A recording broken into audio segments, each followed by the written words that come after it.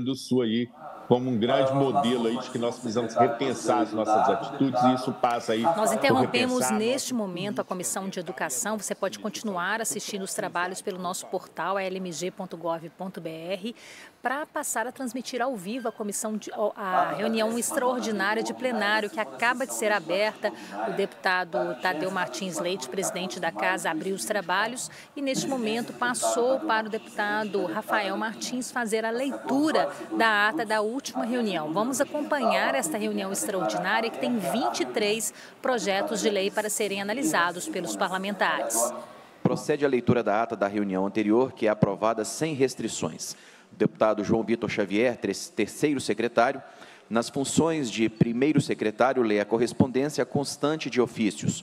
Isto posto, a presidência passa a receber proposições quando lhes são encaminhados os projetos de lei números 2253, 2256, 2282, 2283, 2287, 2288, 2292, 2293, 2296, 2297, 2299, 2308, 2310, 2312 e 2346/2024.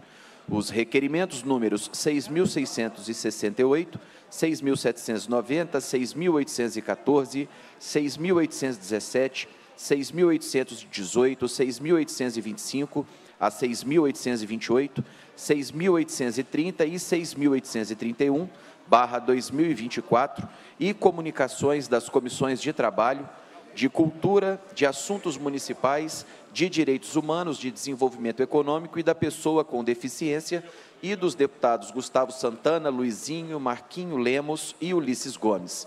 A seguir, suscita a questão de ordem o deputado Bruno Engler, solicitando que seja feito um minuto de silêncio em sinal de pesar pelo falecimento da deputada federal Amália Barros. Após a homenagem póstuma, suscitam questões de ordem a deputada Leninha, solicitando que seja feito um minuto de silêncio em sinal de pesar pelo falecimento do músico Theo Azevedo, e o deputado doutor Maurício, solicitando que seja feito um minuto de silêncio em sinal de pesar pelo falecimento do cirurgião plástico Maneco de Guzmão. Após a homenagem póstuma e não havendo oradores inscritos, Passa-se a segunda parte da reunião, em sua primeira fase, momento em que o presidente profere decisões reformando o despacho anterior e determinando que seja o projeto de lei número 1802/2023 também distribuído à Comissão de Fiscalização Financeira em razão da natureza da matéria, reformando o despacho anterior e determinando que o projeto de lei número 1038/2023 passe a tramitar em dois turnos, nos termos do artigo 188, combinado com o artigo 102 do Regimento Interno. Informa ao plenário que a prestação de contas do Tribunal de Contas do Estado relativo ao exercício financeiro de 2023 foi publicada no Diário do Legislativo no dia 9 de maio e que o prazo de 10 dias para requerimento de informações ao TCE teve início no dia 10 de maio e encerra-se no dia 24 de maio designa os membros da comissão especial para emitir parecer sobre proposta de emenda à Constituição de número 2, barra 2023. Informa ao plenário que foram aprovados nos termos do parágrafo único do artigo 103 do Regimento Interno os requerimentos número 6.678, 6.996, 6.997, 6.756, 6.768 a 6.771, 6.773, 6.775 a 6.783, 6.786, 6.789, 6.790, 6.793 e 6.825/2024. Da ciência das comunicações hoje apresentadas pelas comissões do Trabalho, de Cultura, de Assuntos Municipais, de Direitos Humanos, de Desenvolvimento Econômico e da Pessoa com Deficiência, e pelos deputados Gustavo Santana, este indicando a deputada Maria Clara Marra, e os deputados Bruno Engler, Coronel Sandro e Noraldino Júnior, como vice-líderes do bloco Avança Minas. Luizinho e Marquinho Lemos, estes informando suas renúncias às vagas de membros efetivos da, na Comissão de Fiscalização Financeira, e Ulisses Gomes informando sua renúncia à vaga de suplente da Comissão de Fiscalização Financeira, indicando seu nome como membro efetivo da referida comissão, indicando o deputado Cristiano Silveira como membro efetivo e a deputada Beatriz Cerqueira como membro suplente da Comissão de Fiscalização Financeira e indicando o deputado Luizinho como membro efetivo da Comissão de Segurança Pública. E defere o requerimento de número 6.229-2024 Neste passo, são submetidos à votação e aprovados, cada um por sua vez, os requerimentos de números 6.686 e 6.800-2024. Ato contínuo. A presidência profere decisão respondendo às questões de ordem suscitadas pelos deputados Lucas Lasmar e Dr. Jean Freire em 25 de abril de 2024. Esgotada a matéria, destina a esta fase Passa-se a segunda fase da ordem do dia, com a apreciação das matérias constantes na pauta, momento em que vem à mesa e é submetido a votos e aprovado requerimento da deputada Lute Falcão solicitando a inversão de pauta desta reunião, de modo que o projeto de lei de número 618/2023 seja apreciado em último lugar dentre as matérias em fase de votação. Anunciada a votação em segundo turno, projeto de lei número 4196/2017, o presidente nos termos do inciso 37 do artigo 82 do Regimento Interno, deixa de submeter o projeto à votação. Na sequência, é submetido à votação nominal e aprovado em primeiro turno o projeto de lei número 1840 de 2023, na forma do substitutivo número 1, com as emendas números 1, 2 e 4. Anunciada a votação em segundo turno, o projeto de lei número 618/2023, a presidência nos termos do inciso 37 do artigo 82 do Regimento Interno deixa de submeter o projeto à votação. Isto posto, são submetidos à discussão e votação nominal e aprovados, cada um por sua vez, em turno único, o projeto de resolução número 15/2023 em primeiro turno, o projeto de lei complementar número 25/2023. Em turno único, o projeto de lei número 3244/2021 e em segundo turno, os projetos de lei números 4224/2017, na forma do vencido em primeiro turno, e 5.052/2018 e 3.194/2021, estes nas, na forma do substitutivo número 1, ao vencido em primeiro turno. Na sequência, o presidente registra a presença nas galerias de estudantes da UENG. A anunciada discussão em segundo turno, o projeto de lei número 3.684/2022 e tendo sido encerrada, a presidência informa ao plenário que no decorrer da discussão foi apresentada ao projeto uma emenda da deputada Bela Gonçalves, que recebeu o número 1, e que, nos termos do parágrafo 4 do artigo 189 do Regimento Interno, será submetida à votação independentemente de parecer. A seguir, são submetidos à votação nominal e aprovados, cada um por sua vez, o substitutivo número 1, salvo emenda, e a emenda número 1, ficando, portanto, aprovado em segundo turno, o projeto de lei número 3.684-2022, na forma do substitutivo número 1, ao vencido em primeiro turno com a emenda número 1. Isto posto, são submetidos à discussão e votação nominal e aprovados, cada um por sua vez, em segundo turno, os projetos de lei números 3.952-2022, na forma do vencido em primeiro turno, 95-2023, na forma do substitutivo número 1 ao vencido em primeiro turno, 242-2023, na forma do vencido em primeiro turno e 840-2023. Nesse passo, o presidente registra a presença em plenário dos ex-deputados estaduais Célio Moreira e Dilson Melo. Ato contínuo é submetido à discussão e votação nominal e aprovado em segundo turno o projeto de lei número 1316/2023, na forma do vencido em primeiro turno. Anunciada a discussão em segundo turno, o projeto de lei número 1371/2023 e tendo sido e tendo esta sido encerrada, faz uso da palavra para encaminhar votação da matéria a deputada Lohana, após o que é o projeto submetido à votação nominal e aprovado. Ficando, portanto, aprovado em segundo turno o projeto de lei número 1371, barra 2023, na forma do vencido em primeiro turno. Na sequência, é submetido à discussão e votação nominal e aprovado em segundo turno o projeto de lei número 1896/2023, na forma do vencido em primeiro turno. Anunciada a discussão em primeiro turno do projeto de lei número 1756/2020, tendo esta sido encerrada, a presidência informa ao plenário que no decorrer da discussão foi apresentada ao projeto uma emenda do deputado Charles Santos, que recebeu o número 1 e, nos termos do parágrafo 2 do artigo 188 do Regimento Interno, encaminhada a emenda com o projeto à Comissão de Saúde para parecer. Anunciada a discussão em primeiro turno do projeto de lei número 2468/2021 e tendo sido e tendo esta sido encerrada, o presidente informa ao plenário que no decorrer da discussão foi apresentada ao projeto uma emenda do deputado Sargento Rodrigues, que recebeu o número 1, e nos termos do parágrafo 2 do artigo 188 do Regimento Interno, encaminha a emenda com o projeto à Comissão de Fiscalização Financeira para parecer. Isto posto, são submetidos à discussão e votação nominal e aprovados cada um por sua vez em primeiro turno os projetos de lei números 2.797 e 3.325/2021 e 836/2023, estes na forma do substitutivo número 1. A seguir, fazem uso da palavra para a declaração de votos os deputados Ricardo Campos e Leleco Pimentel, a deputada Bela Gonçalves e os deputados Lucas Lasmar e doutor Jean Freire a deputada delegada Sheila os deputados Bruno Engler e Caporeso. Cumprido o objetivo da convocação, a presidência encerra a reunião, convocando as deputadas e os deputados para a extraordinária de amanhã, dia 15, às 10 horas, nos termos do edital de convocação, e para a ordinária também amanhã, às 14 horas, com a ordem do dia a ser publicada. Levanta-se a reunião. É esta a ata da 19ª reunião ordinária da segunda sessão legislativa, presidente. Obrigado, deputado Rafael. Em discussão a ata, não havendo quem sobre se manifeste, doa por aprovada. Pela ordem, presidente. Pela, pela ordem, deputada Adriana Varenga.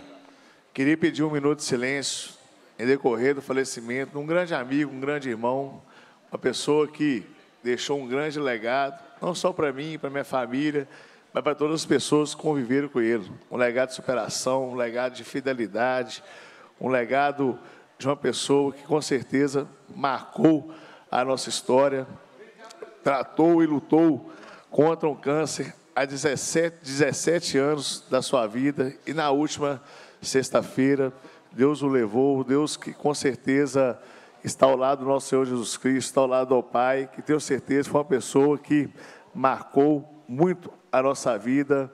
É, Bruno, onde você que esteja, meu irmão, estamos aqui para honrar esse grande legado que você deixou para nós, essa grande amizade, esse grande pai que você foi também para a Vitória, para o José, esse grande amigo, irmão, essa pessoa que com certeza estará para sempre em meu pensamento, na minha memória e na memória de todos que eu conheceu.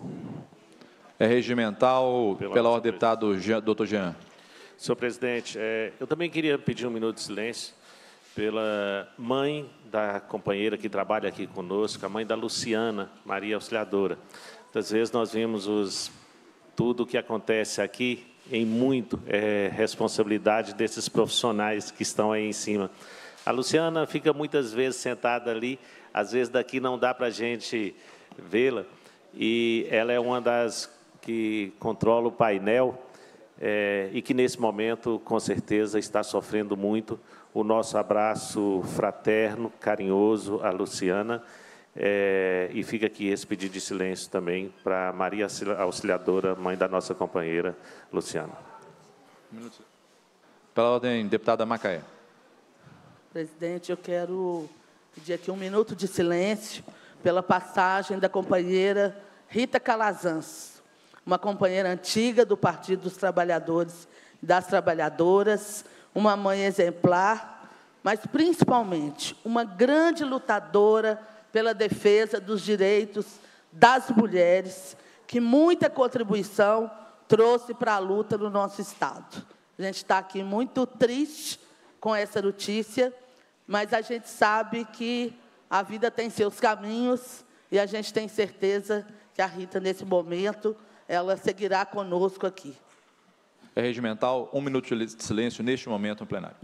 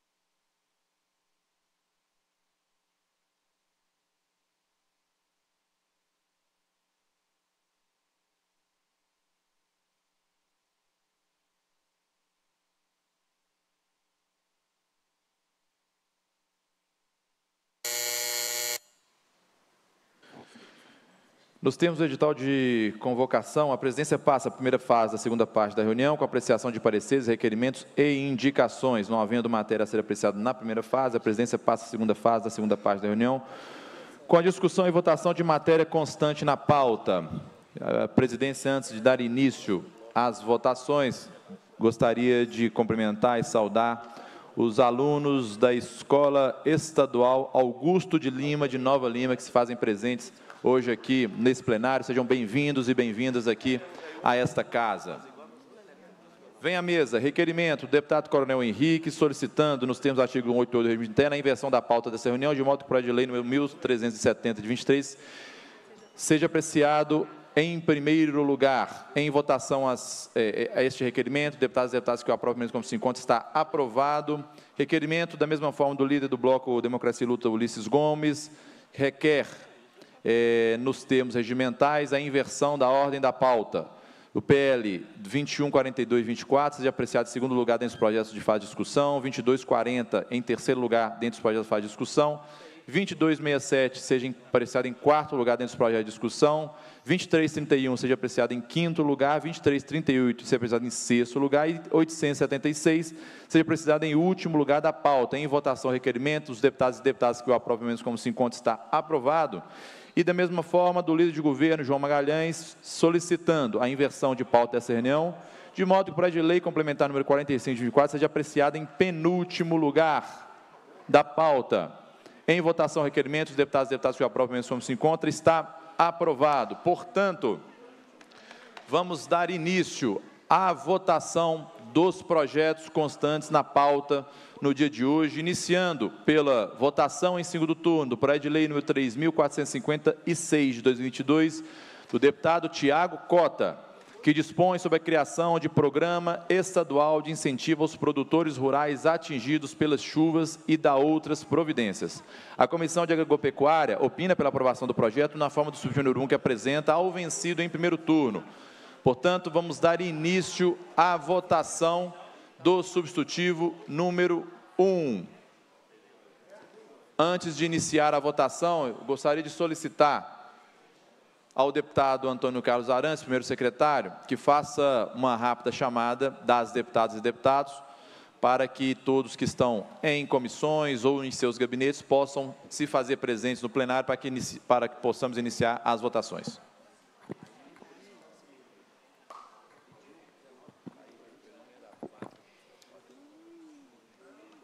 Tadeu Martins presente, Veninha presente, Duarte Bexir. Betinho Pinto Coelho.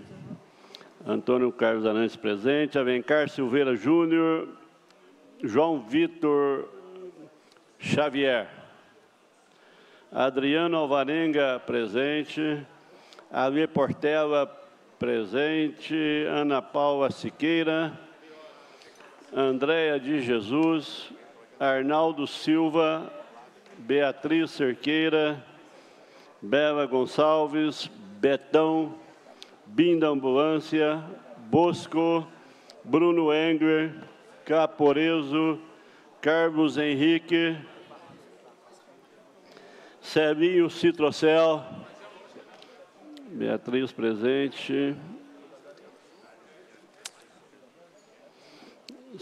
Cássio Soares, presente, Celinho Citrocel, Charles Santos, Chiara Biondini, Coronel Henrique presente, Coronel Sandro, Cristiano Silveira presente, Delegada Sheila, Delegado Cristiano Xavier presente, Dorgal Andrada,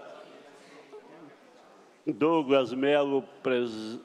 Douglas Melo, Doutor Jean Freire presente, Doutor Paulo, Doutor Wilson Batista, Douglas Melo presente, Doutor Paulo, Doutor Wilson Batista, Doutor Maurício, Eduardo Azevedo presente, Evismar Prado, Enes Cândido, Fábio Avelar presente, Gil Pereira Grego da Fundação presente. Evismar Prado presente. Gustavo Santana presente. Ione Pinheiro. João Júnior.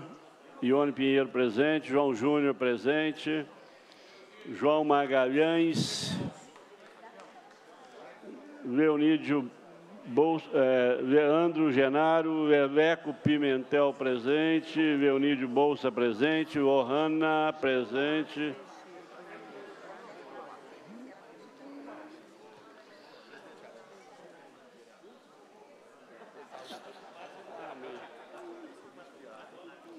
Lucas Vasmar, Arnaldo Silva presente, Arnaldo Silva. Lude Falcão, Luizinho, Macaé Evaristo, doutor, doutor Paulo presente, Macaé Evaristo, Maria Clara Marra, presente, Mário Henrique Caixa, Marli Ribeiro, Marquinho Lemos, Marquinhos presente, Mauro Tramonte presente, Nayara Rocha presente, Neivando, Neivando Pimenta, Noraldino Júnior presente, Oscar Teixeira, professor Cleito presente, professor Wendel Mesquita, Rafael Martins presente, Raul Belém presente, Ricardo Campos, Rodrigo Lopes presente, Roberto Andrade,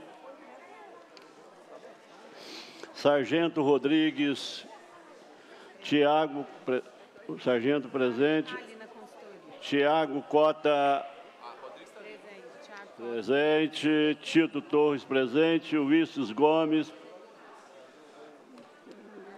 Vitório Júnior, Vitório Júnior, Zé Guilherme, Presente, Zé Laviola.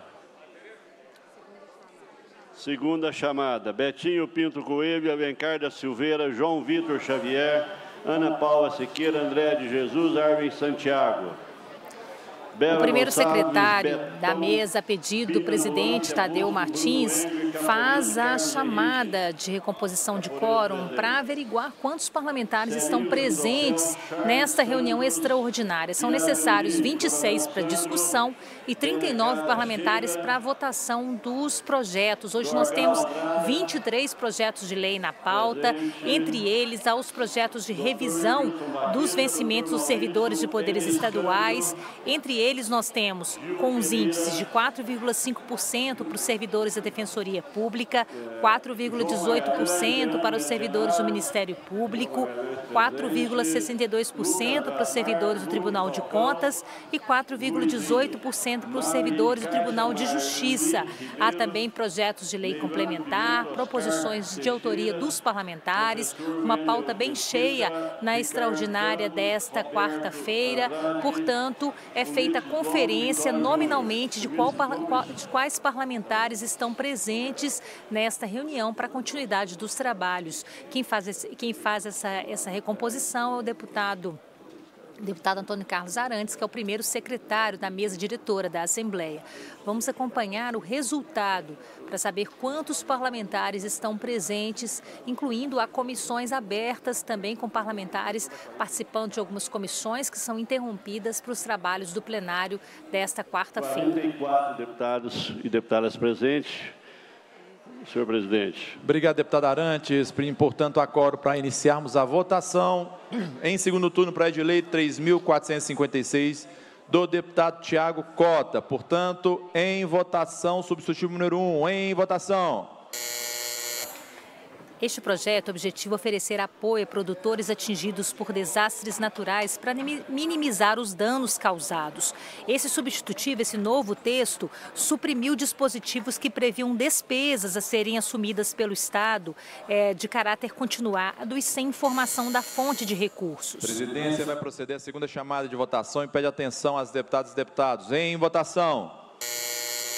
É um projeto, portanto, que prevê isenção do ICMS, também durante a vigência de, de situação de emergência decretada pelo município que tiver sofrido com desastres ambientais.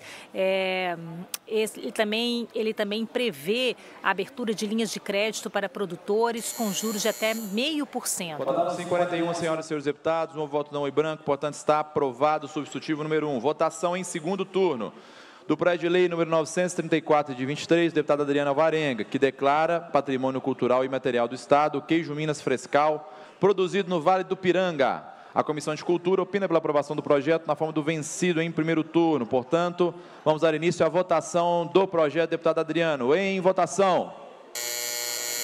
Esse projeto declara patrimônio cultural e material do Estado o queijo Minas Frescal produzido em Piranga, na região central do Estado. O objetivo é principalmente o fortalecimento da economia regional. Segundo o autor, o que difere esse queijo Minas dos demais é a utilização do leite pasteurizado e o respectivo processo de fabricação. A presidência vai proceder à segunda chamada de votação. Em votação um projeto em segundo turno que pretende declarar de patrimônio cultural e material do Estado o queijo Minas Frescal produzido no Vale do Piranga, que fica na região central de Minas, com o objetivo principalmente de fortalecer a economia regional, promovendo e incentivando a cadeia produtiva desse tipo de queijo. Votarão sim 41 senhoras e senhores deputados, um voto não em branco, portanto está aprovado o projeto. Votação em primeiro turno, projeto de lei número 2966, de 21, do deputado Roberto Andrade que autoriza o Poder Executivo a doar ao município de Ubal o imóvel que especifica. A Comissão de, a Comissão de Justiça conclui pela constitucionalidade do projeto na forma do substitutivo número 1 que apresenta. A Comissão de Administração Pública opina pela aprovação do projeto na forma do substitutivo número 1 da Comissão de Justiça. Portanto, em votação, substitutivo número 1. Em votação. Esse projeto autoriza doação ao município de Ubá de um imóvel na zona de um imóvel de 1.200 metros quadrados que fica na localidade de Ubá Pequeno, aqui na zona da Mata. É um imóvel que destina-se ao funcionamento de uma escola municipal da região. A presidência vai proceder à segunda chamada de votação. Em votação um projeto que dá autorização ao Poder Executivo a doar ao município de Ubá, na Zona da Mata, um imóvel de 1.200 metros quadrados para o funcionamento de uma escola municipal. O projeto também prevê que esse imóvel deverá se reverter ao patrimônio do Estado se não for usado para esse objetivo no prazo de cinco anos. Votaram sim 43 senhores e senhores deputados, voto não em branco, portanto está aprovado o substitutivo número 1. Discussão em primeiro turno do projeto de lei número 1370, de 23, do deputado Coronel Henrique, que reconhece como de relevante interesse cultural, social e econômico do Estado o Festival de Morangos, Rosas e Flores, realizado no município de Alfredo Vasconcelos. A Comissão de Justiça conclui pela constitucionalidade do projeto na forma do substitutivo número 1 que apresenta. A Comissão de Cultura opina pela aprovação do projeto na forma do substitutivo número 1 da Comissão de Justiça. Em discussão, o projeto, não oradores inscritos, encerra essa discussão. Portanto, vamos dar início à votação do substitutivo número 1. Em votação. Esse projeto reconhece como de relevante interesse cultural, social e econômico o Festival de Morangos, Rosas e Flores, que acontece em Alfredo Vasconcelos, o município do Campo das Vertentes. Ele está na 23ª edição. É um festival tradicional já para a região e o morango é uma das principais atividades econômicas. A presidência vai proceder à segunda chamada de votação em votação. O projeto, que reconhece, portanto, de relevante interesse cultural, social e econômico, o Festival de Morangos, Rosas e Flores do município de Alfredo Vasconcelos, em Campo das Vertentes. O morango, portanto, é uma das principais atividades e as características geográficas e climáticas da região fazem com que esse morango seja diferenciado na produção 40, local. Senhoras e senhores deputados, um voto não ou em branco, portanto, está aprovado o substitutivo número 1. Discussão. Em primeiro turno, o projeto de lei número 2142 de 24, o Procurador-Geral de Justiça, que fixa o percentual relativo ao ano de 23 para a revisão anual dos vencimentos e proventos servidores do Ministério Público do Estado. A Comissão de Justiça conclui pela constitucionalidade do projeto, a Comissão de Administração Pública opina pela aprovação do projeto na forma do substitutivo número 1, que apresenta a Comissão de Fiscalização Financeira opina pela aprovação do projeto na forma do substitutivo número 1 da Comissão de Administração Pública em discussão, projeto não oradores inscritos, encerra-se a discussão. Portanto, vamos dar início à votação do substitutivo número 1. Em votação. Esse projeto é do Procurador-Geral de Justiça e fixa, a partir de maio de 2023, em 4,18%, o percentual para revisão dos vencimentos e proventos dos servidores do Ministério Público do Estado. Ele está em primeiro turno e é analisado neste momento pelos parlamentares. A presidência vai proceder à segunda chamada de votação. Em votação confirmação da, chama, da, da votação do projeto do Procurador-Geral de Justiça, que fixa, a partir de maio de 2023, o percentual para revisão dos vencimentos e proventos dos servidores do Ministério Público do Estado. O percentual foi definido em 4,18%, segundo o projeto enviado pelo Procurador. Votaram sim 46 senhoras e senhores deputados, no voto não ou em branco, portanto está aprovado. Substitutivo número 1, discussão em primeiro turno, projeto de lei número 2.240 e 24, da Defensoria Pública, que dispõe sobre a revisão anual dos vencimentos e proventos dos servidores da Defensoria Pública do Estado, referente aos períodos que menciona. A Comissão de Justiça conclui a constitucionalidade do projeto com a emenda número 1, que apresenta as comissões de administração pública opina pela e de Fiscalização Financeira opinam pela aprovação do projeto com a emenda número 1 da Comissão de Justiça. Em discussão o projeto, não há oradores inscritos em essa discussão. Portanto, vamos dar início à votação do projeto, salvo emenda. Em votação. Esse projeto determina que a revisão anual dos vencimentos e proventos dos servidores da Defensoria Pública do Estado tenha como índice 4,5% relativo ao período de fevereiro de 2023 a janeiro de 2024. É um projeto de autoria da Defensoria. A presidência vai proceder à segunda chamada de votação. Em votação. Este projeto de lei em primeiro turno da Defensoria Pública determina a revisão anual dos vencimentos e proventos dos servidores em 4,5%. Ele é um índice relativo ao período de fevereiro de 2023 a janeiro de 2024.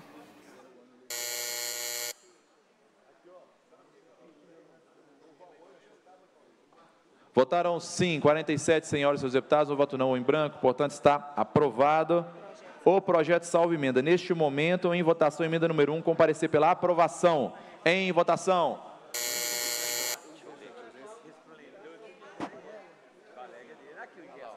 A emenda a este projeto faz alguns ajustes para prever, como dissemos anteriormente, a revisão anual dos vencimentos e proventos dos servidores da Defensoria Pública do Estado, tendo como índice 4,5% relativo a fevereiro de 2023 até janeiro agora.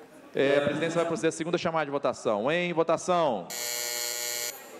Essa emenda foi recebida na, durante a tramitação nas comissões para fazer alguns ajustes a este projeto, é, ajustar de acordo com a técnica legislativa e prever essa revisão anual dos vencimentos e proventos dos servidores da Defensoria em 4,5% de fevereiro de 23 a janeiro de 24. Votaram sim 45 senhoras e senhores deputados, o voto não em branco, portanto está aprovada a emenda número 1. Discussão em primeiro turno do projeto de lei número 2267, 24, Tribunal de Contas, que dispõe sobre a revisão anual dos valores do valor do vencimento das funções gratificadas e dos proventos dos servidores do Tribunal de Contas do Estado de Minas Gerais no exercício financeiro de 24.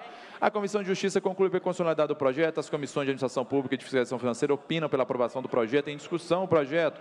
Não há oradores inscritos. Encerra-se a discussão. Portanto, vamos dar início à votação deste projeto. Em votação. Este projeto de autoria do Tribunal de Contas é sobre a revisão anual do valor do vencimento das funções gratificadas e dos proventos dos servidores do Tribunal de Contas do Estado em 2024. Deverá ser aplicado um índice de 4,62% para a revisão com base no IPCA. A presidência vai proceder à segunda chamada de votação. Em votação. Projeto agora do Tribunal de Contas, que é sobre a revisão anual do valor dos vencimentos das funções gratificadas e dos proventos do Tribunal de Contas do Estado. Deverá ser aplicado um Índice Nacional de Preço ao Consumidor Amplo, IPCA, correspondente a 4,62%. Registro o voto sim, deputado Enes Canjo, no projeto anterior. Votaram sim 51 é, senhores, senhores e senhores deputados. Não houve voto não em branco, portanto está aprovado o projeto. Discussão em primeiro turno do projeto de lei número dos 2.331 de 24 da mesa da Assembleia, que dispõe sobre a revisão geral dos vencimentos e proventos dos servidores da Assembleia. A mesa da Assembleia opina pela aprovação do projeto. Em discussão, o projeto na hora dos inscritos encerra essa discussão. Portanto, vamos dar início à votação deste projeto em votação. Este projeto em primeiro turno é de autoria da mesa da Assembleia e dispõe sobre a revisão dos vencimentos dos servidores da Assembleia Legislativa. Concede um percentual de 2,11% com efeitos financeiros a partir de 1 de abril de 23 e também a partir de 1 de abril de 2024 foi calculado o um índice de 3,93%. Votação em votação projeto da mesa da Assembleia que dispõe sobre a revisão dos vencimentos e proventos dos servidores da Casa. Concede o percentual de 2,11% e, e o percentual de 3,93% com base no IPCA. Um projeto que também é extensivo a servidores inativos e pensionistas. Votaram sim 52 senhoras e senhores deputados, não voto não em branco, portanto está aprovado o projeto. Discussão em primeiro turno, projeto de lei número 2338 de 24, Tribunal de Justiça que fixa o percentual da revisão anual dos vencimentos e proventos dos servidores do Poder Judiciário do Estado de Minas Gerais relativa ao ano de 23. A Comissão de Justiça conclui pela condicionalidade do projeto, a Comissão de Administração Pública opina pela aprovação do projeto na forma do substitutivo número 1 que apresenta. A Comissão de Fiscalização Financeira opina pela aprovação do projeto na forma do substitutivo número 1 da Comissão de Administração Pública. Em discussão o projeto, não há oradores inscritos, encerra-se a discussão, portanto, vamos dar início à votação do substitutivo número 1. Em votação.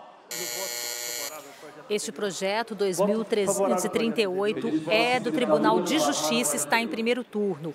Ele fixa a revisão anual dos vencimentos e proventos dos servidores do Poder Judiciário do Estado relativo ao ano de 2023, determinando o reajuste da tabela escalonada de vencimentos em 4,18%.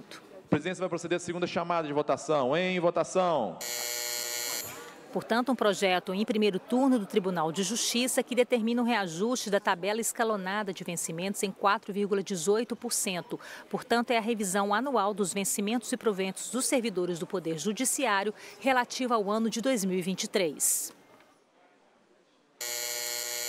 Votaram sim 53 senhoras e senhores deputados, no voto não ou em branco, portanto está aprovado o substitutivo número 1. Discussão em turno único do projeto de resolução número 21, 2023, da Mesa da Assembleia, que concede o título cidadão honorário do Estado a José Arthur de Carvalho Pereira Filho. Em discussão o projeto, na hora dos inscritos, encerra essa discussão, portanto, vamos dar início à votação deste projeto em votação. Este projeto concede o título de cidadão honorário do Estado a José Arthur de Carvalho Pereira, integrante do Poder Judiciário do Estado de Minas Gerais. Tem trazido, segundo o projeto, contribuições importantes para a sociedade mineira e, além de ser o atual presidente do Tribunal de Justiça do Estado de Minas Gerais.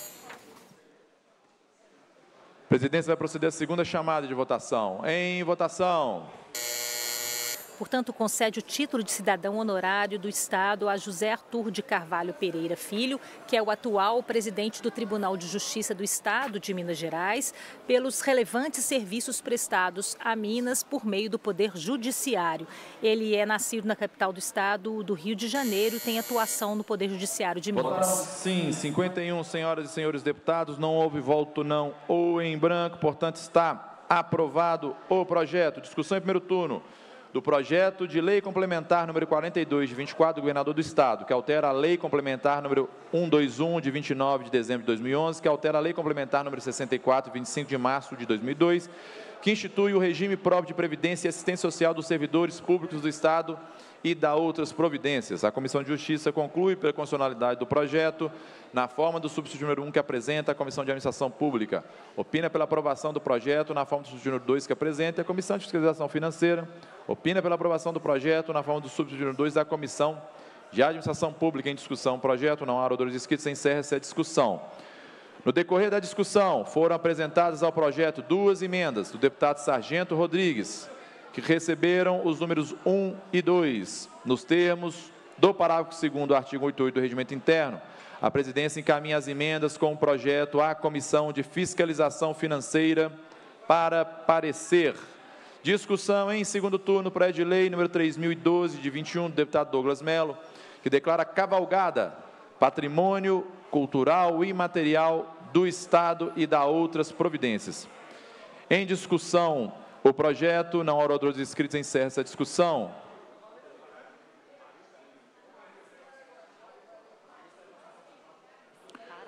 No decorrer da discussão, foi apresentado ao projeto uma emenda do deputado Ulisses Gomes, que recebeu o número 1 e que, por conter matéria nova, vem acompanhada de acordo de líderes nos termos do parágrafo 4 do artigo 89 do Regimento Interno. A emenda será submetida à votação independentemente de parecer. Portanto, não há oradores inscritos. Vamos iniciar a votação deste projeto, salvo emenda. Em votação. Esse projeto, deputado Douglas Melo, declara a cavalgada patrimônio cultural imaterial do Estado e dá outras providências. Ela, ele considera que é, é aquela tradicional caminhada associada a manifestações, expressões culturais artísticas, devocionais e esportivas que contenham referência, identidade ação da memória do povo mineiro. A presidência vai proceder à segunda chamada de votação. Em votação.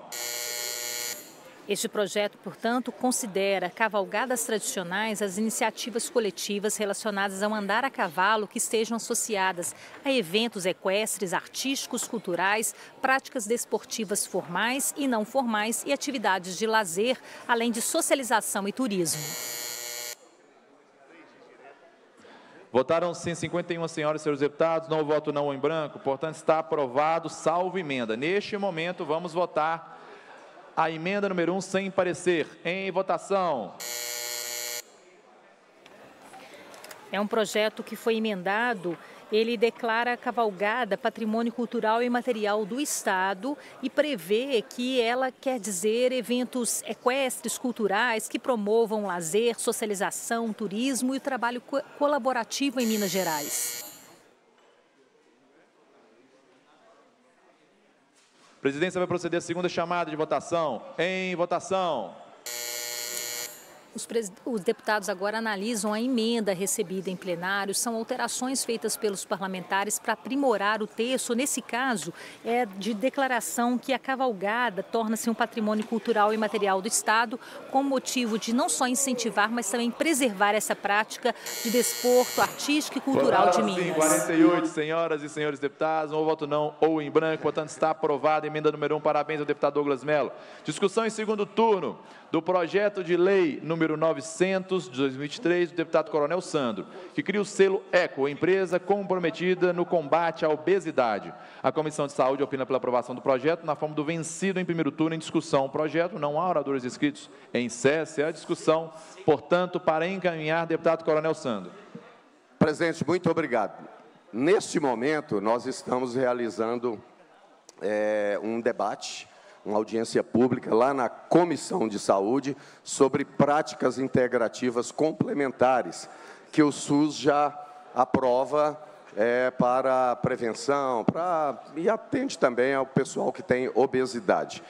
E quero pedir esse projeto que cria o selo ECO, da empresa que é comprometida em combate à obesidade, que é uma doença gravíssima e muitas vezes as pessoas não querem reconhecer como doença, Lembrando, não existe esse negócio de gordo saudável, não existe, viu? É doença e nós temos que falar que é doença. Eu peço o voto dos colegas. É, vou, assim que votar, vou retornar para continuar a audiência pública na Comissão de Saúde. Agradecer ao deputado Arley Santiago por ter me permitido presidir essa audiência, que o requerimento foi meu e que é um elogio, que é uma comissão democrática, porque tem comissões nessa casa, nessa casa que são conduzidas de forma ditatorial e não permitem que outros deputados presidam as audiências que propõem. Parabéns, Arley Santiago, por essa autorização para presidir a comissão. Obrigado, senhor presidente. Obrigado, Coronel Sandro. Portanto, vamos dar início à votação deste projeto. Em votação.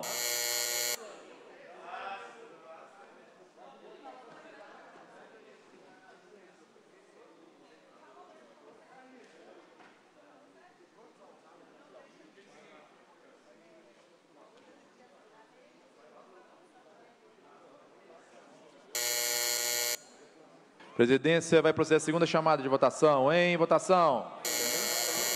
Esse projeto cria o selo ECO, de empresa comprometida no combate à obesidade e ao sobrepeso. São as empresas que, que têm programas de incentivo à alimentação saudável e à prática de atividades físicas e que estimulam a criação de ambiente laboral favorável à redução de ansiedade e de estresse. Ela Votaram sim, 51 senhoras e senhores deputados. O voto não em branco, portanto está aprovado o projeto. Registro voto sim, deputado João Vitor Xavier e deputado Gil Pereira.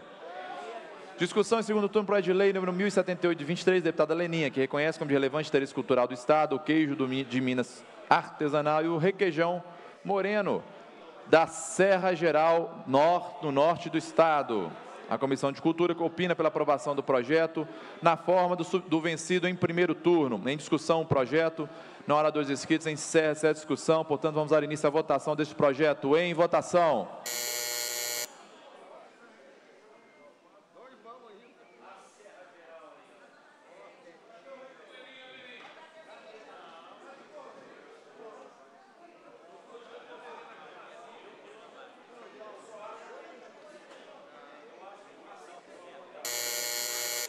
Presidência vai proceder à segunda chamada de votação. Em votação.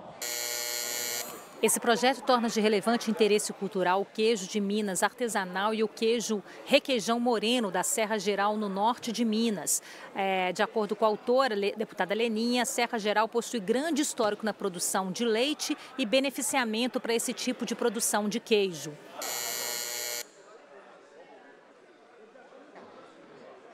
Votaram sim, 44 senhores e seus deputados, não voto não em branco, portanto está aprovado o projeto. Registro o voto sim, deputado Arantes. Discussão em segundo turno, projeto de lei número 1514 de 23, deputado Lucas Lasmar, que altera o artigo 1 e o seu parágrafo único da Lei 18797, de 31 de 3 de 2010, que determina a utilização de seringas de agulha retrátil nos hospitais e estabelecimentos de saúde do Estado. A Comissão de Saúde opina pela aprovação do projeto na forma do vencido em primeiro turno em discussão. O projeto, não há oradores inscritos, encerra essa discussão. Para encaminhar, deputado Lucas Lasmar. Senhor presidente, votação no anterior, por favor. Registro o voto sim, deputado doutor Paulo, no projeto anterior.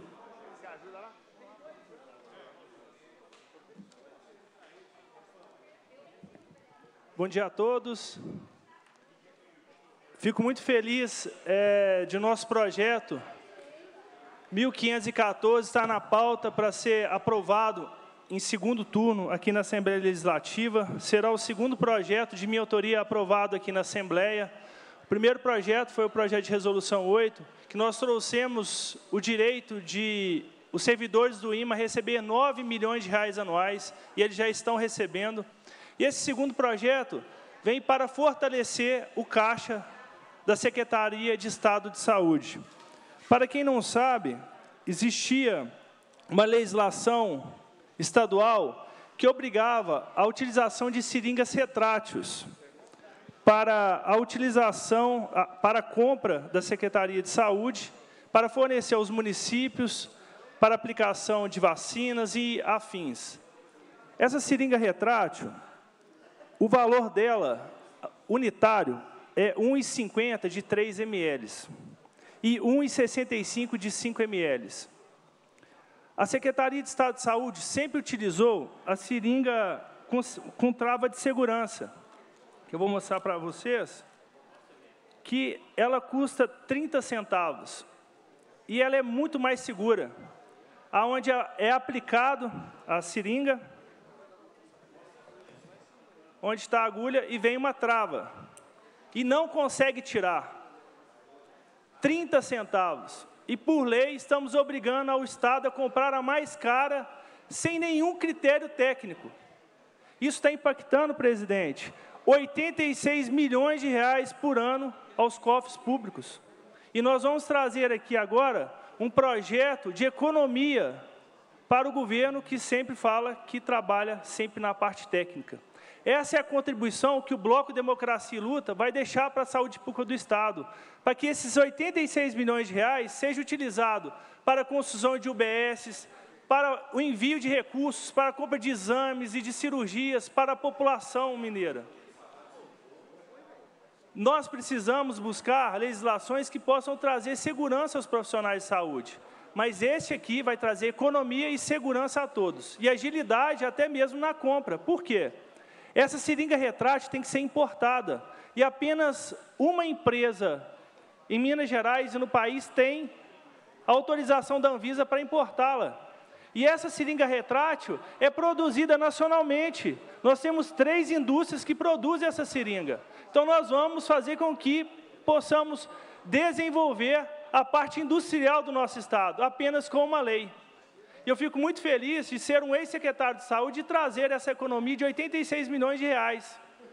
Então, eu peço a todos os deputados aqui presentes que votem favorável para que a gente possa apoiar a Secretaria de Saúde para investir esses 86 milhões de reais que seriam gastos em saúde pública real, que chegue na ponta para o cidadão, principalmente para o cidadão sem rosto, aquele que nós não sabemos quem é e que precisa ser atendido, principalmente nas UPAs, nos prontos atendimentos municipais, que ficam dias para serem transferidos para hospitais de referência em ortopedia, urologia, enfim. Então, essa é a minha contribuição e fico muito feliz e peço a votação de todos e agradeço ao presidente da Assembleia, ao meu líder Ulisses, por permitir que esse assunto seja aprovado em meu projeto e não como tentaram fazer.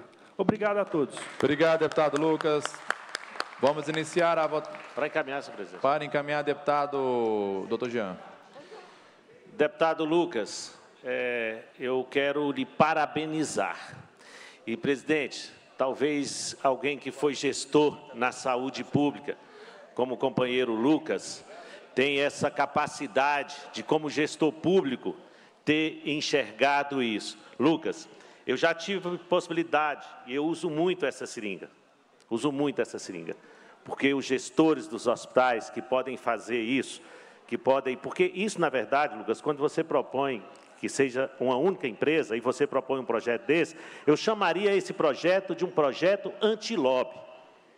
Tá? Parabéns, parabéns. Isso é pensar na saúde pública e quem na prática usa essas seringas, sabe o potencial dessa seringa e a proteção que ela dá ao técnico de enfermagem, auxiliar, ao médico, a cada um que usa. Então eu peço aqui, reforço o seu pedido, acho que nem precisaria, mas reforço o seu pedido para que os companheiros e companheiras que pensem na saúde pública, que pensem na economia do Estado, porque isso é pensar realmente em gestão. Parabéns, companheiro, e eu peço o voto aí favorável a esse projeto do Lucas.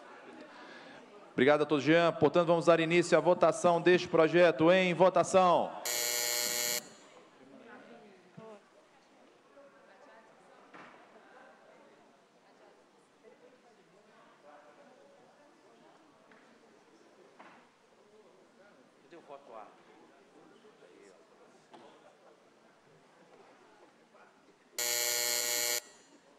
A presidência vai proceder à segunda chamada de votação. Em votação.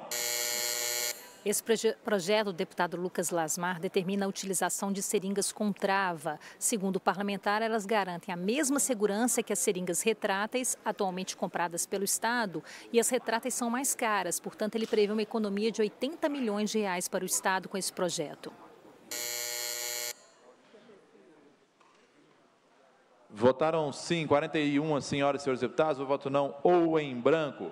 Portanto, está Aprovado o projeto. Registra meu voto sim, Registro o voto sim do deputado Douglas. Registro o voto sim do deputado doutor Wilson. Da mesma forma, voto sim do deputado Bruno Engler. Registro o voto sim do deputado Antônio Carlos Arantes. Como é que é?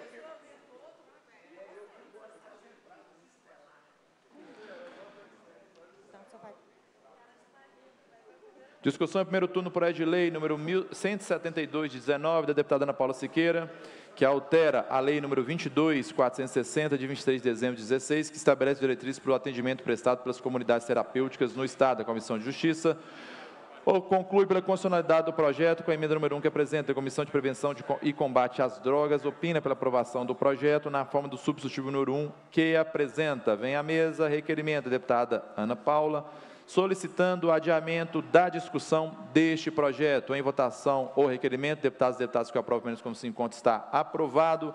Discussão em primeiro turno, projeto de lei número 3.893, de 22, do deputado André de Jesus, que reconhece como de relevante interesse é, cultural do Estado a Irmandade Nossa Senhora do Rosário, dos homens presos do município do Cerro. A Comissão de Justiça concluiu a consolidade do projeto na forma do substituto número 1 que apresenta. A Comissão de Cultura opina pela aprovação do projeto na forma do substituto número 1 da Comissão de Justiça em discussão. O projeto não... Não há oradores inscritos, encerra-se a discussão. A presidência retira o projeto de pauta pela ausência da autora. Discussão em primeiro turno do projeto de lei número 4, 463, de 23, deputada Marli, que altera a linha H do inciso 2 da Lei 15.457, de 2 de janeiro de 2005, que institui a política estadual de desportos. A Comissão de Justiça conclui a constitucionalidade do projeto na forma de substituto número 1 que apresenta.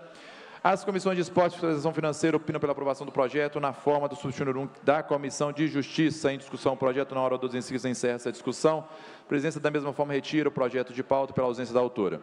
Discussão em primeiro turno, projeto de lei número 763 de 23, do deputado Leleco Pimentel, que reconhece como de relevante interesse cultural, religioso, paisagístico, turístico e social, de natureza material e imaterial de Minas Gerais, o acervo do Santuário do Senhor Bom Jesus de Matozinhos, em Piranga. A Comissão de Justiça conclui a constitucionalidade do projeto na forma do substituto número 1 que apresenta. A Comissão de Cultura opina pela aprovação do projeto na forma do substituto número 1 da Comissão de Justiça e pela rejeição do projeto original. Em discussão, o projeto, não há oradores inscritos, encerra-se a discussão, portanto, vamos dar início à votação do substitutivo número 1 em votação. Eu não vou discutir, não vou pedir sim para vossas excelências.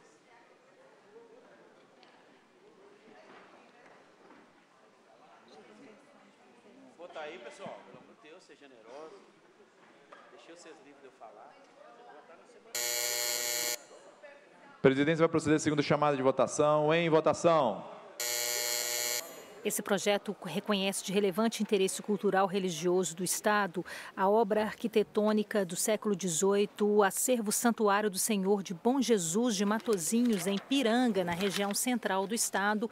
Essa obra está localizada no distrito de Santo Antônio do Pirapetinga e foi construído com a participação de Aleijadinho. deputados, voto não em branco, portanto está aprovado o substitutivo número 1. Discussão em primeiro turno do projeto de lei número 1235 de 2023 do deputado Ulisses Gomes, que dispõe sobre o protocolo individualizado de avaliação para os alunos com deficiência e transtornos globais do desenvolvimento e altas habilidades ou superdotação matriculados na rede pública estadual de ensino. A Comissão de Justiça conclui a constitucionalidade do projeto na forma do substituto número 1 que apresenta. A Comissão de Pessoa com Deficiência opina pela aprovação do projeto na forma do substituto número 1 da Comissão de Justiça. A Comissão de Educação opina pela aprovação do projeto na forma do substitutivo número 2 que apresenta. Em discussão o projeto, não há oradores inscritos, encerra essa discussão. Portanto, vamos dar início à votação do substitutivo número 2. Em votação.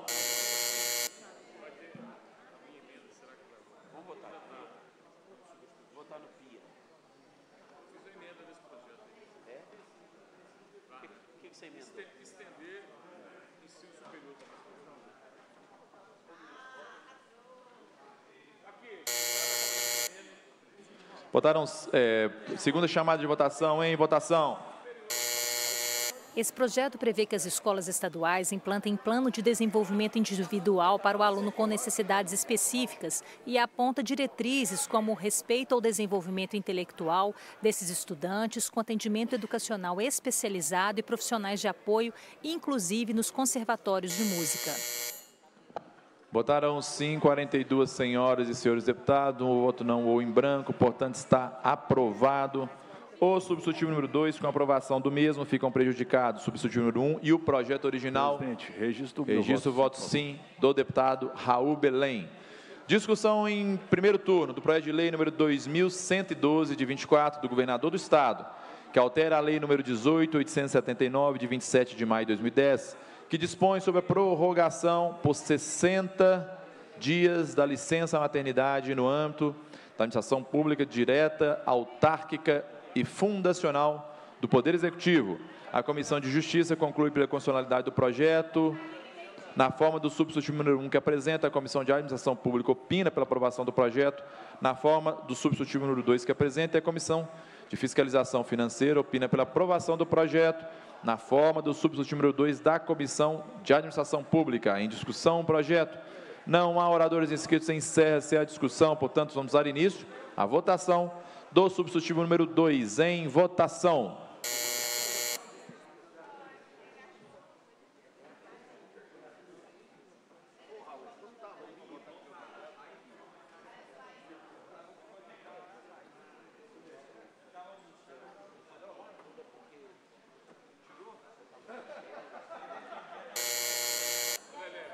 A presidência vai proceder à segunda chamada de votação. Em votação.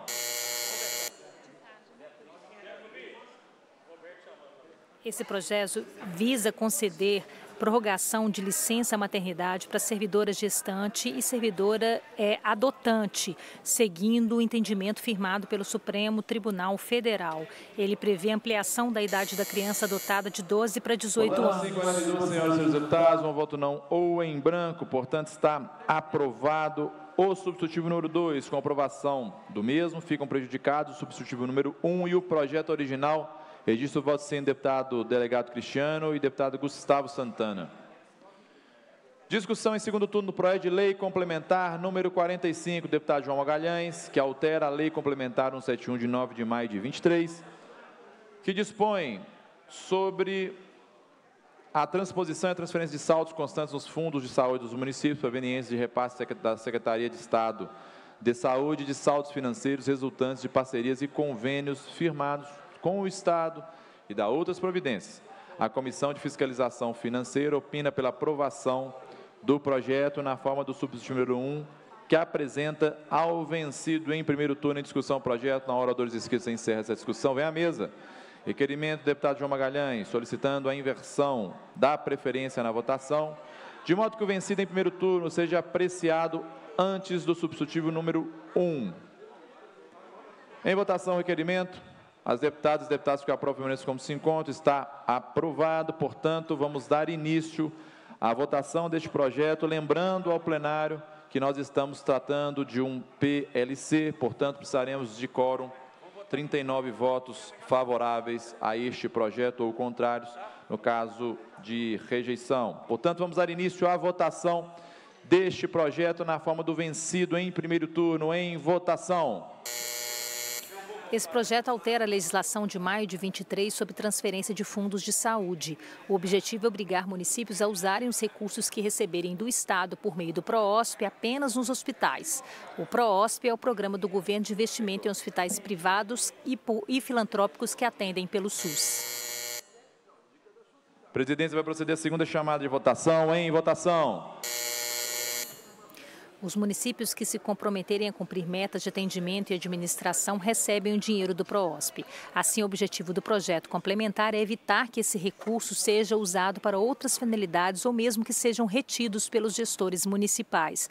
A matéria recebeu um novo texto da Comissão de Justiça que amplia o rol de servidores. Votaram sim, 46 senhoras e senhores deputados, não votam ou em branco, portanto está aprovado o projeto. Com a aprovação do projeto na forma do vencido em primeiro turno, fica prejudicado o substitutivo número 1. A presidência vai suspender os trabalhos por três minutos. Nós estamos no último projeto. Quero convidar os líderes para que se façam presentes aqui, para que a gente possa finalizar o entendimento sobre o último projeto. E aproveitar a oportunidade de lembrar a todas as deputadas e deputados que amanhã às 10 horas teremos reunião extraordinária de plenário para apreciar projetos que estarão na pauta da mesma forma presidente suspende por cinco minutos os, os, trabalhos. De 2019, do governador do Estado, que altera a lei número 6.310, de 8 de maio de 74, que autoriza o Poder Executivo a constituir e organizar empresa pública para o desenvolvimento e execução de pesquisas no setor da agropecuária. A Comissão de Administração Pública opina pela aprovação do projeto na forma do substitutivo número 1, um, que apresenta ao vencido em primeiro turno. Em discussão, o projeto, não há oradores inscritos. Encerra-se a discussão. No decorrer da discussão, foram apresentadas ao projeto duas emendas, sendo uma do governador do Estado, que recebeu o número 1 e foi encaminhada por meio de mensagem número 103 de 2023, e uma do deputado Antônio Carlos Arantes, que recebeu o número 2 e um substitutivo dos deputados Cássio, Gustavo Santana, Ulisses Gomes, Carlos Henrique, doutor Jean, que recebeu o número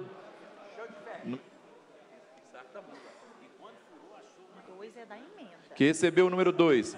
Nos termos do parágrafo 4 do artigo 189 do Regimento Interno, as emendas e o substitutivo serão votados independentemente de parecer. Portanto, vem à mesa requerimento do deputado Ulisses Gomes, solicitando a inversão da preferência na votação, de modo que o substitutivo número 2, sem parecer, seja apreciado em primeiro lugar. Em votação, requerimento, as deputadas e deputados que o aprovam permaneçam como se encontram. Está aprovado este projeto, esse requerimento. Portanto, vamos dar início neste momento à votação do substitutivo número 2, sem parecer, salvo emendas. Em votação. Esse projeto do governador objetiva adaptar as normas que trata da Constituição e Organização da IPAMIG às diretrizes de lei, da Lei Federal de 2016. Ele retira a vinculação da IPAMIG às diretrizes operacionais da Embrapa, incorpora a finalidade da empresa à formação e capacitação de profissionais. A presidência vai proceder à segunda chamada de votação. Em votação.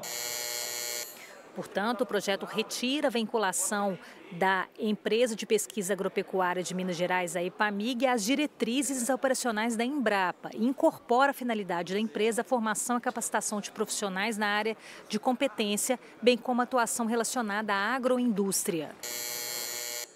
Votaram sim 44 senhoras e senhores deputados, um voto não em branco, portanto está aprovado o substituto número 2 sem parecer salvo emendas. Com aprovação do substituto número 2, ficam prejudicados o substituto número 1, um, o projeto original e as emendas número 1 um e 2. Quero registro o voto sim da deputada Beatriz.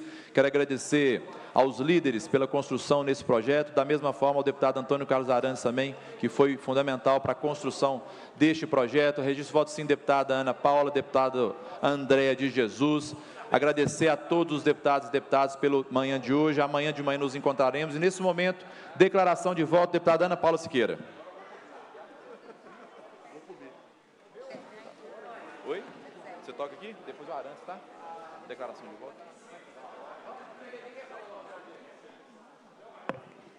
Bom dia, presidente. Bom dia, colegas deputadas, colegas deputados. Quero aqui, na minha declaração de voto, parabenizar todos os deputados que tiveram seus projetos aprovados, inclusive tivemos belíssimos projetos aqui destacados. Mas quero hoje mesmo, dia 15 de maio, fazer uma saudação especial às assistentes sociais, aos assistentes sociais, meus colegas de profissão, profissionais tão importantes na definição e na implantação das políticas públicas, seja no âmbito municipal, no âmbito estadual, no âmbito federal. É importante a data de hoje para lembrarmos dos meus colegas assistentes sociais. Mas é muito importante para que nós também possamos fortalecer a luta por um sistema único de assistência social que tenha um financiamento próprio e que possa garantir o atendimento desses profissionais na ponta para as pessoas que mais precisam e para todas as pessoas que têm o direito de ter acesso à assistência social no Brasil. Eu tenho muito orgulho de ser assistente social, de ter escolhido essa profissão e de estar hoje representando o Estado de Minas Gerais no Parlamento Mineiro, trazendo não só a experiência de vida, mas, sobretudo, toda a técnica, todo o estudo, todo o acumulado que o curso de serviço social da PUC Minas me é, oportunizou. E quero aqui destacar que por esta casa já passaram também colegas assistentes sociais que desenvolveram um belíssimo trabalho. E eu quero aqui fazer uma saudação também ao André Quintão, nosso colega assistente social, à deputada Macaé, aqui presente também assistente social, e dizer que as assistentes sociais e os assistentes sociais têm um papel fundamental no Brasil. É sim para garantir assistência àqueles que mais precisam, mas também para dar dignidade a todos e todas. Nesse sentido, nesse 15 de maio de 2024, mais uma vez, subo a essa tribuna para exaltar, valorizar, reconhecer e lutar por uma assistência social de verdade no Brasil. Um abraço para todos, para todas, da minha equipe Hélia, da minha equipe do meu coração, Juliana, Adriane de Miranda, enfim, todas as assistentes sociais que passaram pelo meu caminho. Muito obrigada a todos. Obrigada, deputada Ana Paula Siqueira. Para a declaração de voto, deputado Leleco Pimentel.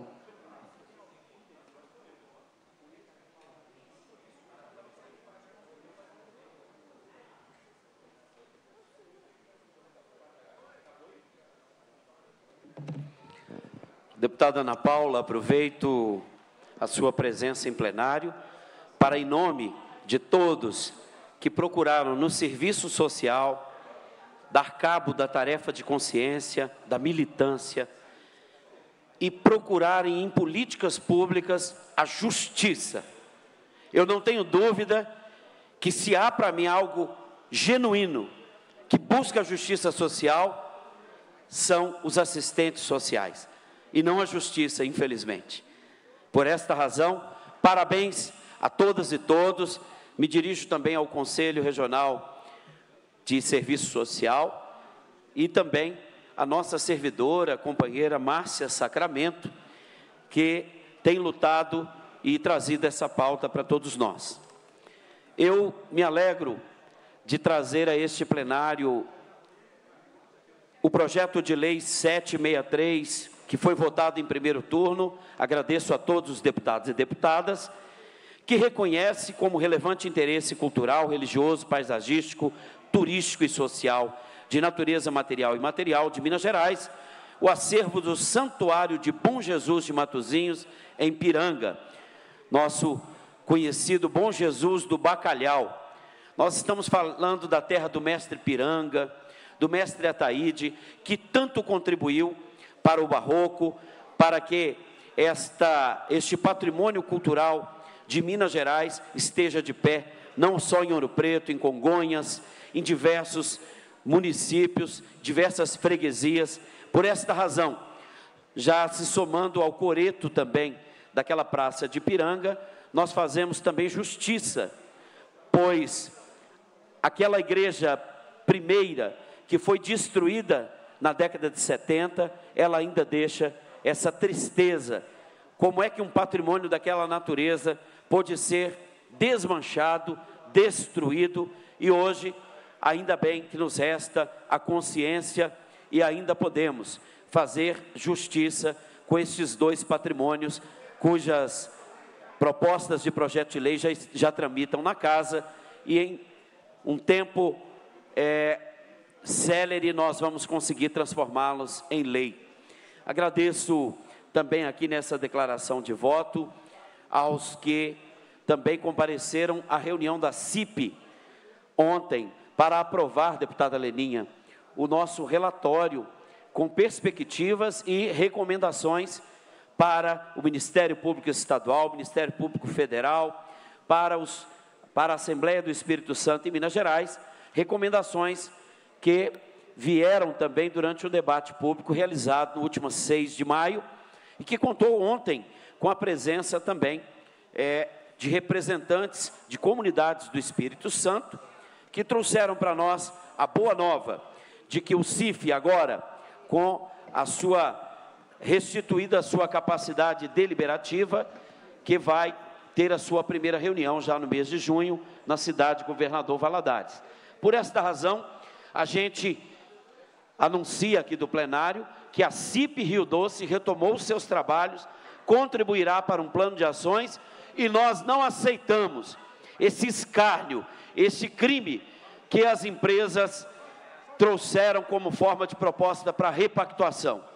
Além das empresas trazerem um valor pífio, ainda quiseram descontar desses valores 39 bilhões, como se a Renova tivesse de fato investido e reparado os seus crimes, além de pedir a anistia para que as empresas não tenham que pagar pelos seus crimes ambientais.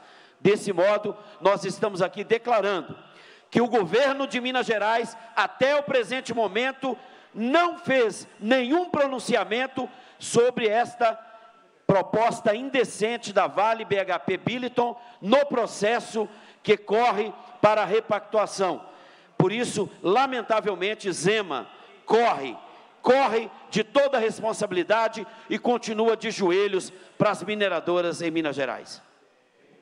Obrigada, deputado Leleco. A gente vai só alterar a ordem aqui, porque o deputado Arantes tinha solicitado ao presidente declaração de voto. Mesmo que não apareça aí, nós vamos passar a palavra para o deputado Arantes. Logo em seguida, a gente segue com as inscrições que aparecem no painel.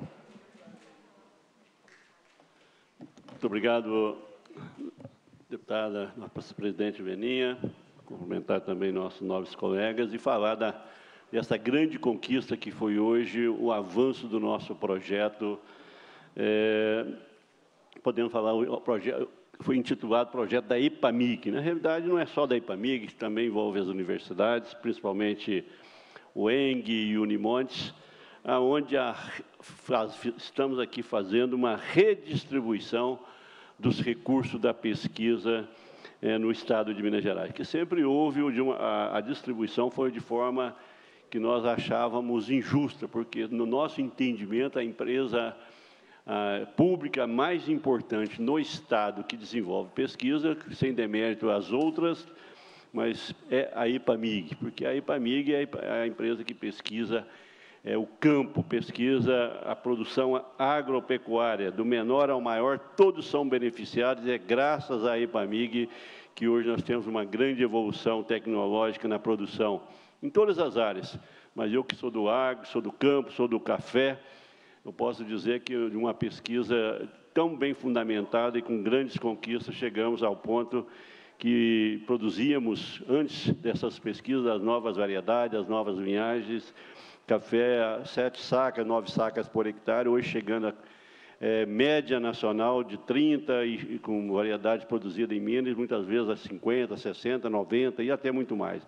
Ou seja, EPAMIG realmente ela precisa de, de ser, ser, potencializada, porque muitas vezes sem recursos para fazer pesquisa, técnicos tendo dificuldades, tendo desvio até de função muitas vezes por falta de recursos é, para potencializar. E que nós conseguimos aqui hoje avançar é, um orçamento que, quando recebia muito, era 2, 3, no máximo 3,5% durante o ano, é, do orçamento, não do orçamento total, mas do orçamento total do Estado, 1% vai para pesquisa. E desse 1%, nós buscamos 10% e conseguimos chegar a 8%. Então, já é um grande avanço, já é uma grande conquista, enaltecer o trabalho da IPAMIG, na, na pessoa da nossa presidente, a doutora Nilda, também do Trasilbo e toda aquela equipe da IPAMIG, todos os bravos eh, pesquisadores aí que fazem um belíssimo trabalho para o desenvolvimento do nosso produtor rural, do nosso campo, né, do agro, de uma forma geral. Então, aqui o nosso reconhecimento, o nosso respeito, mas também as universidades que também passaram a ganhar muito mais recursos também com essa nova distribuição, no caso aqui a Unimontes também, e a UENG, enfim, eu acho que nós fizemos, acho, não tenho certeza que nós estamos fazendo justiça com a distribuição dos recursos da pesquisa no Estado de Minas Gerais. Muito obrigado a todos. Obrigada, deputado Arantes. Com a palavra, o deputado doutor Jean Freire.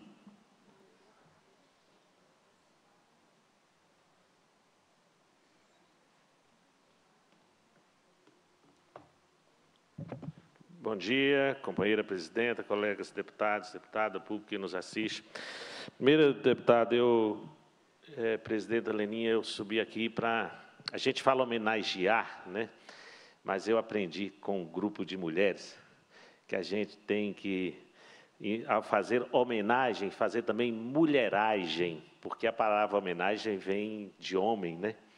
Eu hoje quero fazer homenagem e mulheragem às assistentes sociais, aos assistentes sociais, é, esses companheiros e companheiras que são essenciais é, na construção de uma rede, seja ela de educação, de saúde, e muitas vezes são invisibilizados, né, ou têm o seu trabalho invisibilizado.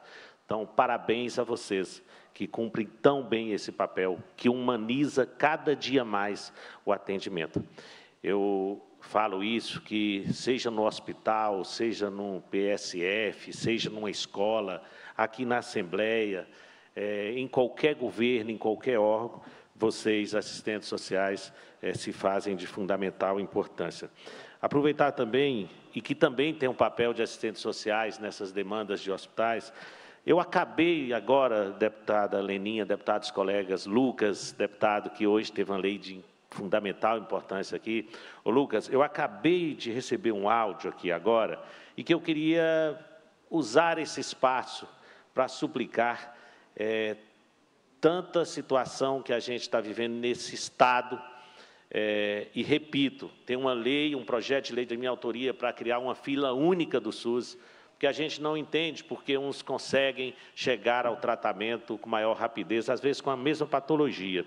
E eu acabo de receber um áudio, que eu peço licença, deputada Leninha, para eu colocar aqui, é, de um pedido de socorro, clamando socorro por uma paciente que está há 60 dias internada no Hospital de Almenara e que não tem condição de prosseguir nem o, o diagnóstico e nem o tratamento. Hoje nós votamos aqui nessa casa um projeto de lei criando o selo aquelas empresas que trabalham essa questão da obesidade, né? Um selo empresa comprometida com combate à obesidade. E nós temos que todos os órgãos públicos, principalmente, estar comprometido com essa questão. Eu vou mostrar aqui agora para vocês esse áudio.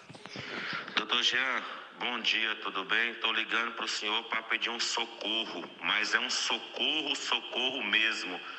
Nós temos uma paciente aqui em Almenara, no Hospital Deraldo Guimarães, Nayara Oliveira Santos, uma paciente obesa, 36 anos, com ordem judicial e nada é feito para ajudar a paciente. A paciente está há 60 dias internada no hospital, morrendo à míngua, pedindo socorros familiares e nada tem sido feito para socorrer esse paciente. Eu preciso que o senhor me ajude, junto à Assembleia Legislativa, junto aos órgãos, para a gente tirar essa paciente daqui e essa paciente não morrer.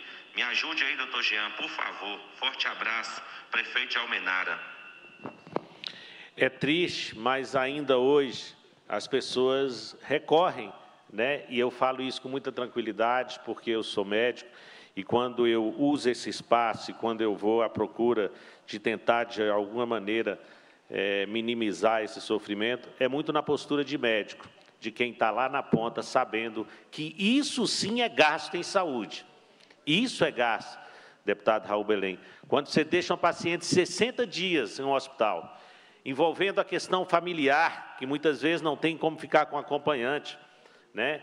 envolvendo o psicológico dessa paciente, não tendo direito, às vezes, de chegar em técnicas de diagnóstico, pela complexidade que a gente sabe que é a obesidade mórbida. Né? Esses pacientes, muitas vezes, fica à margem, na maioria das vezes, fica à margem. E é preciso uma equipe multidisciplinar, um ambiente preparado para receber esse paciente. Ela está há 60 dias, 60 dias, precisando chegar a um diagnóstico definitivo e a um tratamento. E nós não estamos conseguindo vaga, os colegas médicos, a equipe não está conseguindo vaga em todo o estado de Minas Gerais. A central de leitos é muito importante e nós precisamos cada dia mais humanizar esse atendimento porque nós temos determinadas situações que o hospital é, nem diz não nem sim. Se não tem condição de tratar, diz logo que não tem, não, que não pode receber aquele paciente para que o andamento do sistema da rede seja concretizado. Então, fica aqui, termina a minha fala pedindo aqui por essa paciente e por tantos outros. Hoje nós devemos estar mais ou menos entre o Hospital de Almenara, Itaubim, Araçuaí, com uns 10, 15 pacientes, há dias, dias, dias internados. Fratura de fêmur, é, nós temos uma criança uma criança, porque foi me passado uma suspeita é, é, de um acidente vascular, uma criança de três anos, em Diamantina, precisando chegar aqui a Belo Horizonte, até ontem não tinha conseguido isso. Então, nós precisamos ter um olhar para essa questão é, é, da regulação, para essa questão dos hospitais é, de todo o nosso Estado, é, melhorar esse atendimento. Gratidão, muito obrigado. Obrigada, doutor Jean Freire. Com a palavra, o deputado Noraldino.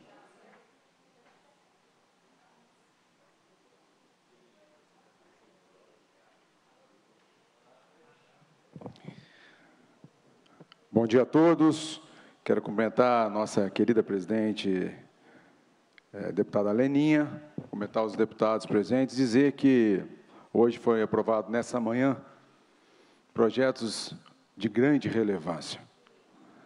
E eu quero destacar aqui uma emenda a um projeto é, que foi aprovado hoje.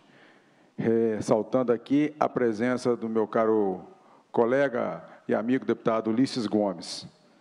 Essa emenda solicitada por mim e apresentada pelo deputado Ulisses Gomes, com acordo de todos os líderes, ela vem no momento muito oportuno. E essa emenda, ela é muito simples. Ela, vou ler a emenda aqui, parágrafo único. Ela, a emenda dá-se a seguinte redação ao parágrafo único do artigo 7 da Lei número 16.301 de 2006. Parágrafo único. O recolhimento previsto no caput será realizado pelo Corpo de Bombeiro de Polícia, pelo Corpo de Bombeiro Militar de Minas Gerais, que encaminhará o animal para o município que fica responsável pelo atendimento médico veterinário quando necessário, assumindo seu cuidado e destinação, que é a adoção e seus, todos os seus cuidados. Eu quero dizer, deputado Ulisses, da grandeza desse projeto. Esse projeto hoje coloca fim a uma grande discussão e há um grande problema em todo o estado de Minas Gerais, porque, de forma é, totalmente errônea, nós tínhamos na nossa legislação a obrigação, deputado Lucas, Lucas Lasmar, do corpo de bombeiro dele resgatar, se for o caso, de animais como pitbull, rottweiler, é, doberman ou outros animais de grande porte, se o animal foi atropelado, se ele mordeu alguém, se aconteceu algum, se o animal estava abandonado, o corpo de bombeiro, como sempre bem fez, ele recolhe o animal e sempre destinava o animal para uma entidade ou para o município. Acontece que algumas prefeituras que têm o seu trabalho, o seu centro de atendimento, o seu abrigo público, é, quando o Corpo de Bombeiro, deputado Leninha, chegava com esse animal, com um pitbull, ela, a prefeitura, esse animal eu não pego.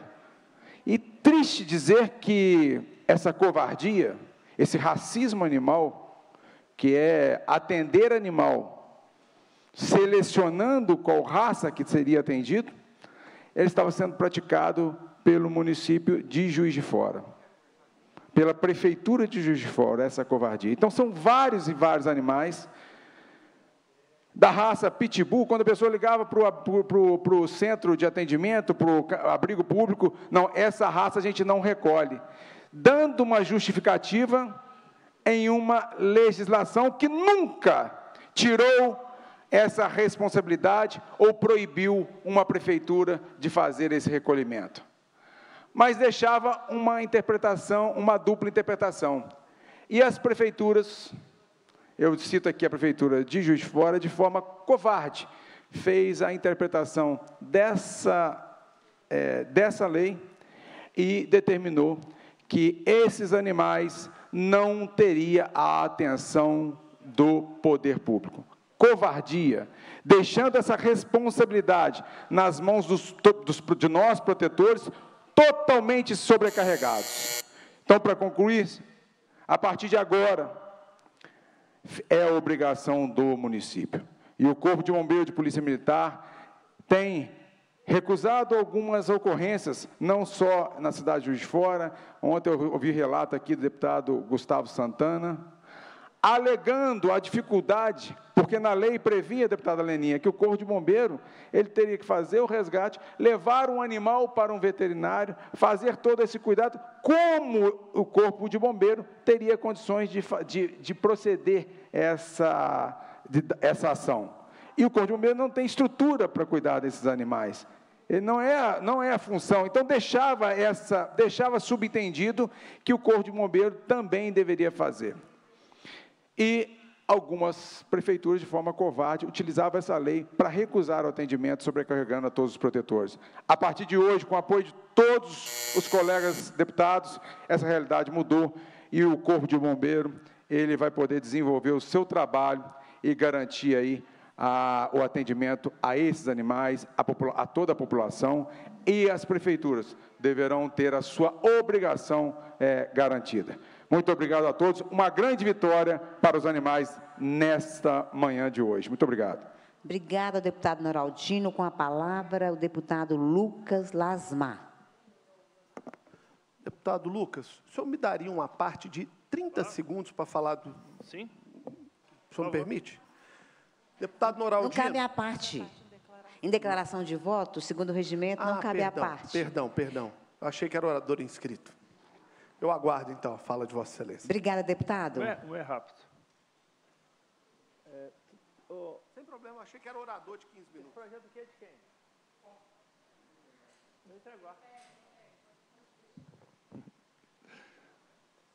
Bom dia a todos.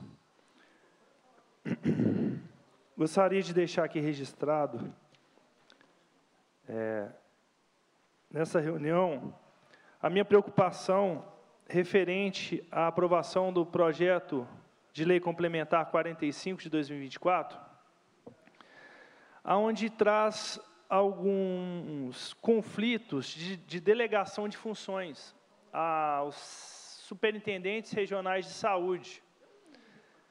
Esse projeto vem para trazer a possibilidade de que esses superintendentes possam se tornar autoridades sanitárias sem a necessidade de um processo seletivo interno, que é definido pela própria Secretaria de Estado de Saúde, a necessidade de fazer esse processo seletivo para os outros cargos, para dar essa autonomia de autoridade sanitária. Então, nós estamos trazendo aqui um privilégio para os cargos de livre nomeação do governo do Estado. Nós estamos permitindo que os superintendentes regionais de saúde, eles façam o planejamento, a coordenação e até mesmo a própria fiscalização e notificação dos estabelecimentos. Ele virou um super, super cargo dentro da Superintendência Regional de Saúde. O que me preocupa é que essa alteração pode trazer prejuízos à saúde pública do Estado, onde nós estamos dando autonomia, um poder de autoridade sanitária, que é um cargo, uma responsabilidade altíssima, na mão de uma pessoa que não fez a prova e que talvez não tenha qualificação para fazer tais deliberações necessárias, como a fiscalização ou até mesmo a liberação de alvará sanitário, tanto para os hospitais, farmácias, de, que são necessários de alta complexidade, enfim, há várias gamas que precisam passar pela Superintendência Regional de Saúde. Então, eu deixo aqui registrada a minha preocupação em relação a isso. É, já elaboramos emendas a, a, a esse projeto, nós já conversamos com o João Magalhães, líder de governo, também com o Ulisses, que é líder do nosso bloco Democracia e Luta, para que a gente possa tentar resolver isso, para que seja permitido fazer esse processo, mas que faça o processo seletivo para que possamos ver a qualificação desse superintendente regional de saúde, se ele pode se tornar realmente uma autoridade sanitária. Não estamos é, trazendo aqui dificuldades na nomeação do cargo, e sim da atribuição. Então, é importante deixar essa diferenciação clara e vamos lutar para que possamos melhorar isso e também trazer tranquilidade aos efetivos que fazem parte das diretorias de, de vigilância em saúde, ambiental, enfim, todas que estão dentro da, da Superintendência Regional de Saúde. Por quê? Se o superintendente pode fazer tudo, ele vai ter um poder de, de, de obrigar esses, esses diretores a fazerem algo que ele deseja. Porque senão o próprio superintendente vai estar realizando a deliberação desses, desses atos que talvez o governo deseje ou até mesmo os desejos empresariais que possam se forçar dentro dessas superintendências. Então, eu vou deixar aqui registrado é, que vamos fazer um trabalho para alterar dois pontos. A Secretaria de Estado de Saúde já se posicionou favorável a essa emenda de que tem que ter a necessidade do processo seletivo interno para dar esse título de autoridade sanitária a quem quer que seja que ocupe nesses dezenas de superintendências que nós temos no nosso estado de Minas Gerais. Defender a saúde nunca é demais e nós já sabemos que tem pouco recurso e nós precisamos de pessoas qualificadas. E isso aqui está trazendo a possibilidade de nomeação de pessoas não qualificadas para cuidar da saúde de macro-regiões que cuidam e planejam de todas as políticas de especialidade, oncologia, ortopedia, enfim, todas as áreas que são para servir a população. Obrigado a todos. Obrigada, deputado Lucas Lasmar. Com a palavra, o deputado João Vitor Xavier. Muito obrigado, senhora presidente. Dividirei minha fala em dois pontos. Primeiro ponto, quero aqui cumprimentar a vereadora Tainá de Nova Serrana. Tive lá nesse final de semana.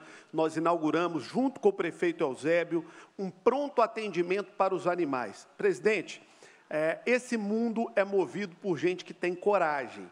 Essa vereadora teve no meu gabinete há quatro anos dizendo o seguinte: João Vitor, vou construir em Nova Serrana um hospital para cuidar dos pets fui eleita como defensora dos animais, acredito na causa animal e vou construir um hospital em Nova Serrana para cuidar dos pets. E veio trazendo um projeto de uma obra de mais de um milhão de reais. Falei, olha, o sonho é um pouco ousado, mas conta comigo que vamos estar juntos. Hoje o hospital está de pé, fugiu daquela regra de muitos políticos que fazem promessa e não cumprem. Ela fez o projeto, fez o propósito, está cumprindo e entregando um hospital PET de primeira qualidade para Nova Serrana e para a região centro-oeste, na parceria com o prefeito Eusébio, com a Prefeitura de Nova Serrana, e eu tenho muito orgulho e alegria do nosso mandato ter colaborado com isso, com a indicação de quase 600 mil reais. E antes que digam que nós estamos cuidando dos bichos e não das pessoas, Lá nós cuidamos dos bichos e das pessoas, porque também no final de semana inauguramos é, no Hospital São José, em Nova Serrana, é, o, o, centro de imagem com tomógrafo, com é, equipamentos de altíssima tecnologia, raio-x digital, raio-x móvel, é, junto com o prefeito Eusébio, em parceria com o vereador do E, para que possa cuidar bem da saúde do povo de Nova Serrana, porque os animais merecem respeito e nós, seres humanos, também merecemos respeito e carinho, e o prefeito Eusébio tem conseguido fazer isso pelo povo de Nova Serrana. Segunda parte da minha fala, presidente, queria dizer da importância desse parlamento, da Assembleia Legislativa e de como projetos de lei bem feitos mudam a história do Estado de Minas Gerais. A senhora estava aqui quando aprovamos o projeto de lei Mar de Lama Nunca Mais. A senhora votou naquele projeto, tive a parceria da senhora e, por unanimidade, aprovamos aquele projeto aqui na Assembleia Legislativa, sob a presidência do deputado Agostinho Patrus Filho. Minas Gerais tem mais uma bomba relógio desativada. E eu tenho muita alegria porque essa bomba relógio é na minha querida cidade de Nova Lima, na região de Macacos, onde a população convivia com a B3, B4 da Vale, que colocava em risco a nossa população, porque estava sempre em nível máximo de alerta. As pessoas tinham que sair de casa, as pessoas viviam apavoradas, as pessoas viviam com medo. E graças à lei que foi feita na Assembleia, numa parceria do Ministério Público do Estado, e aqui eu cumprimento ah, todos do Ministério Público que se envolveram nessa luta, o atual líder do CAOMA, doutor Carlos Eduardo, doutor Jarbas, que é o líder do Ministério Público no Estado, todos que no passado se envolveram nessa luta, que foi uma luta ferrenha do Ministério Público de Minas Gerais, por essa causa. Nós já temos mais de 16 barragens desativadas e descomissionadas no estado de Minas Gerais e vamos lutar para que cada uma seja descomissionada até que não tenhamos mais uma bomba, como a de Mariana e como a de Brumadinho, sob as nossas cabeças, ameaçando a vida do povo de Minas Gerais.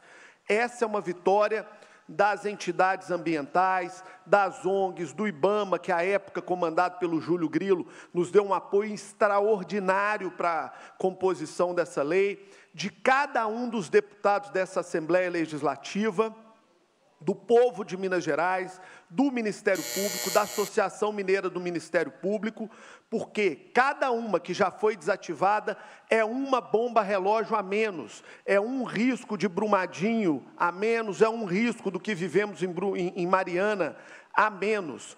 E eu estou muito feliz de que tenha sido desativada essa bomba relógio que a Vale colocou em cima da cabeça de Nova Lima, que é a B3, B4. Nós não vamos sossegar até que a última seja desarmada, garantindo segurança para o povo de Minas Gerais. É um dia de celebração, porque o impacto do rompimento de uma barragem nós já sentimos na pele algumas vezes e não queremos nunca mais voltar a, a sentir. Ainda não estamos livres, porque ainda tem barragens que não foram descomissionadas, mas estamos no caminho e os passos que estão sendo dados são importantíssimos. Feliz por Nova Lima, que se livrou da B3, B4 da Vale. Obrigado, presidente. Obrigado, deputado João Vitor Xavier. A presidência encerra a reunião e convocar as deputadas e os deputados para a reunião de ordinária de logo mais às 14 horas, com a ordem do dia já publicada. Levanta-se a reunião. Você acompanhou os trabalhos da